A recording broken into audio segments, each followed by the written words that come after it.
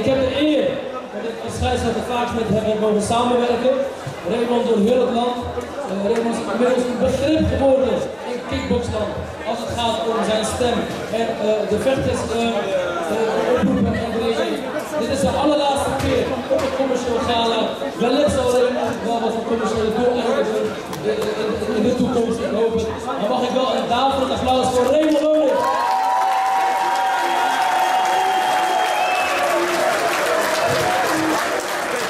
Wel. Ik zou graag de, de promotor van vanavond, Rick van der Hulst, de ring willen hebben. Waar ben je, Rick? Oh, u was er ook.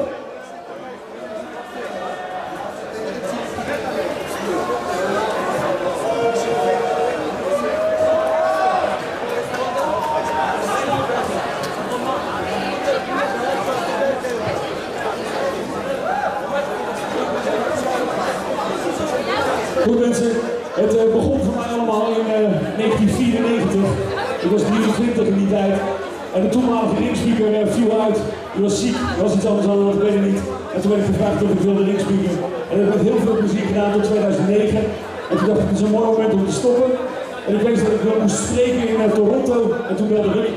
En die zei, mijn ringspeaker is uitgevallen, kan je invallen? En toen zei ik, nee, ik ben gestopt. En die zei, ja, wil je dan één keer uit de brand helpen? Ik zei, ja, dat is goed. Ik ga je één keer uit de brand helpen. Nou, die ene keer uit de brand helpen, dat is 9 jaar geworden. Uh, en ik denk dat ik 13 waarin slash fight uitgaans gepresenteerd heb. Dat heb ik met heel veel plezier gedaan. Ik heb ook altijd een fijne samenwerking met jou gehad. Ik was af en toe wat op de scherpe toe.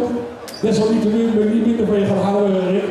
Uh, je zet hele mooie evenementen neer, daar zouden een hele hoop promotors een voorbeeld aan kunnen nemen. Uh, vandaag is voor mij de laatste keer. Uh, en soms doet dat pijn afscheid nemen, dat weet ik. Uh, maar ik wil het niet onopgemerkt voorbij laten gaan. Dus zo nu heb ik een presentje voor jou. Ik hoop dat je een mooie plek krijgt in jouw dojo. Alsjeblieft.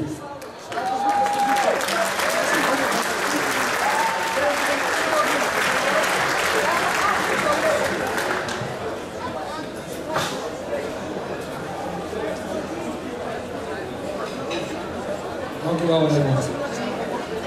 Ja, natuurlijk ben ik trots op zo'n evenement, maar ik kan niet anders dat ik alleen maar medewerking heb van, uh, van een hele grote groep mensen om me heen die heel erg uh, dedicated zijn. waaronder Raymond, nou, dank voor, voor deze schaal, geweldig.